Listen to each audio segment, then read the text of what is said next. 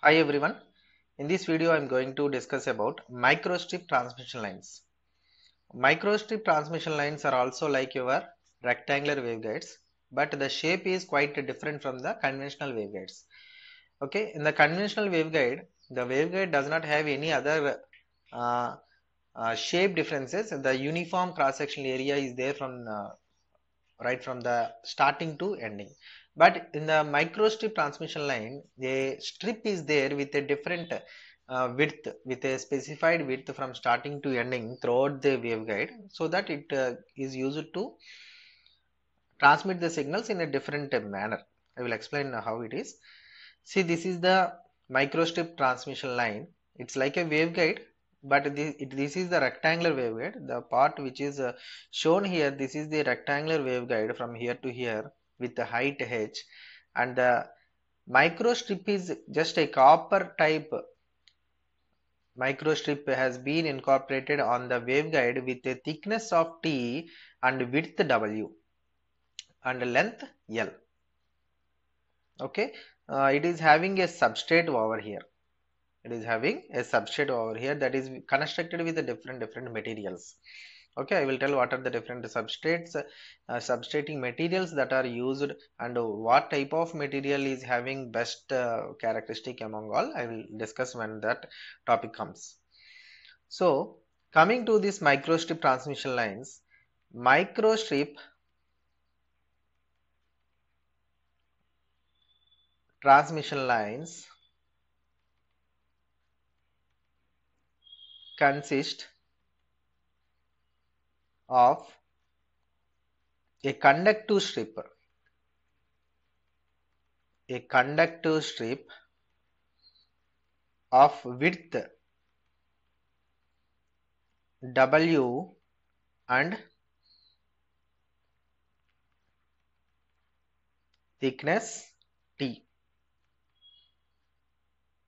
Thickness t with a length l. We can also say with a length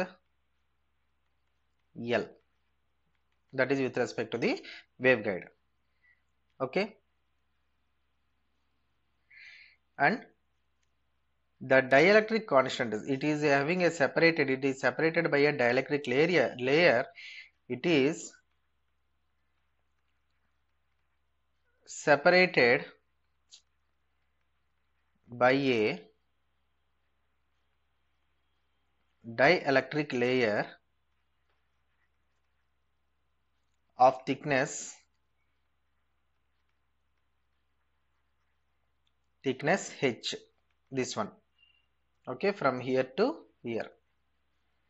Okay it is shown in small h but it is represented generally in the formula it is represented with capital h. Okay so the entire material from here to here it is nothing but a dielectric material. Again at the bottom it is having a conductor. So microstrip is by far the most popular microwave transmission line. So microstrip is by far the most popular microwave transmission line especially for especially for microwave integrated circuits especially for microwave integrated circuits and monolithic microwave integrated circuits. Monolithic microwave integrated circuits so these type of transmission lines are having multiple advantages in the microwave communication and as well as in the manufacturing of monolithic uh, microwave integrated circuits. So the major advantage the major advantage of microstrips over strip line is that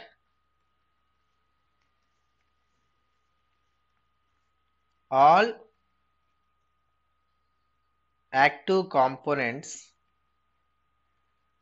all active components can be mounted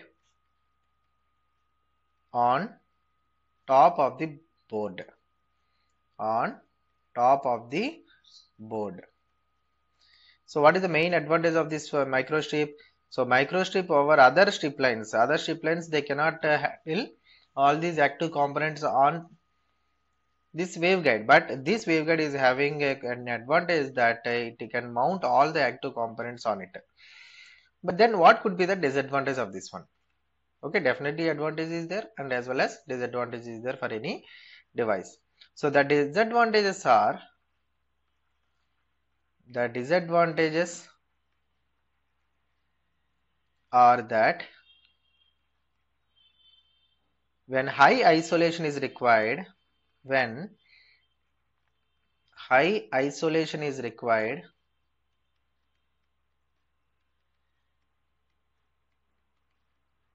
when high isolation is required such as in a filter or switch. Some external shielding. Some external shielding may have to be considered. May have to be considered hope you understand. See when high isolation is required high isolation is required what could be the isolation example? So it may be a filter or a switch. Okay filter or a switch means it is having some separation between the two components. Then definitely we should use that device as a filter or a switch. In such cases definitely a high external uh, shielding may be required. Okay? And a minor issue with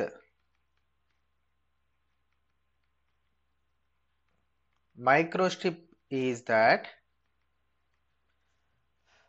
is that it is dispersive it is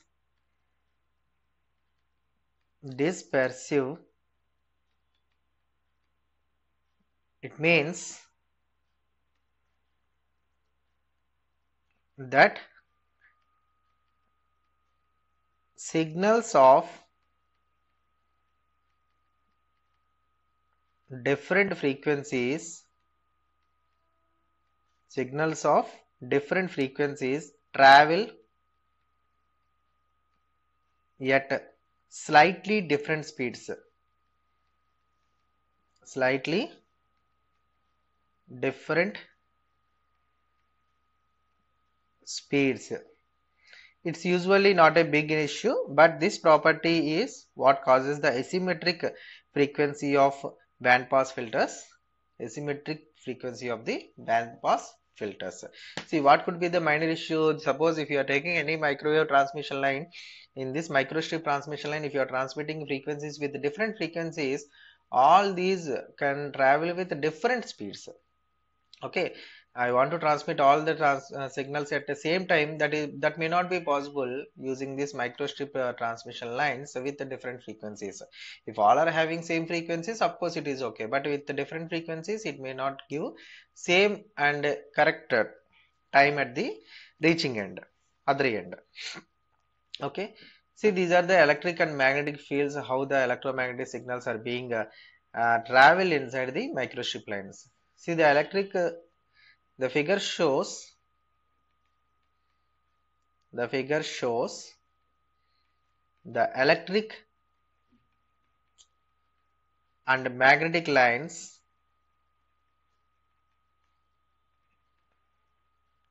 inside the microstrip line See microstrip line is nothing but microstrip transmission line. No need to specify it is microstrip transmission line. Sometimes it is referred to as microstrip line as well. Okay. See what it is. It is a conducting medium. It is a conducting medium. Nothing but copper wire. Okay. Nothing but a copper strip. okay with the thickness t now the electric field lines are originated from this copper and it is going towards downwards the entire dielectric medium because it is a conducting medium it is a conducting medium. In between these two the electric lines are being passing from here to here in the downward direction. Okay and as well as the magnetic field is generated around this conducting path. See this is the magnetic field. So the electric fields and magnetic fields are generated in this way for this microwave transmission line. So if you take some features of this microwave transmission line i will tell few salient features. So salient nothing but important features of this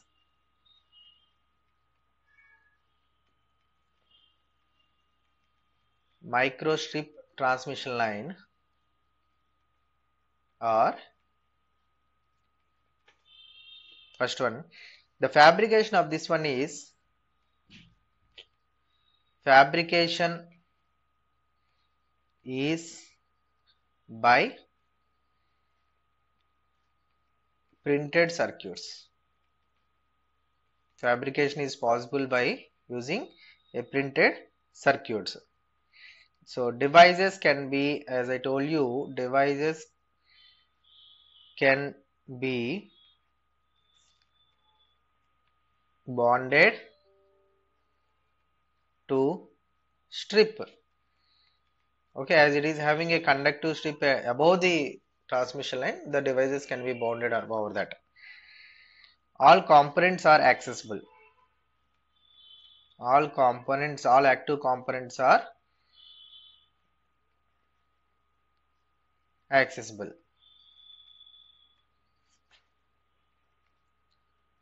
So large variation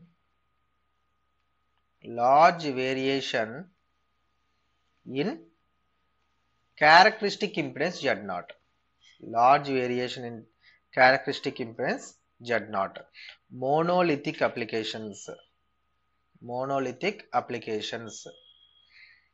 So monolithic uh, microwave integrated circuits can be fabricated using this microstrip transmission line. So that's why it is having monolithic applications. Structure is rugged and can withstand high voltages and high powers structure is rugged and can withstand high voltages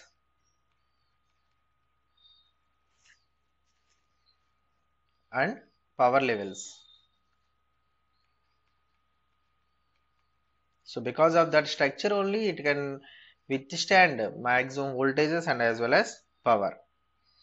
Okay. So used up to so it can be used up to 300 gigahertz that means almost we can say it is the end of microwave range or more okay that is the another advantage of this microwave transmission line microstrip transmission lines and exhibit quasi exhibit quasi TEM mode.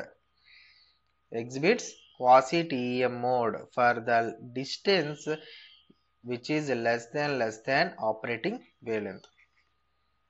Okay generally any type of waveguide it is a rectangular waveguide or a circular waveguide TEM, TEM mode does not exist. But in the micro strip transmission line TEM mode quasi that means partially TEM mode is going to be existed but the condition is the length of the transmission line must be less compared to the operating wavelength. So these are the different and salient features of these micro strip transmission lines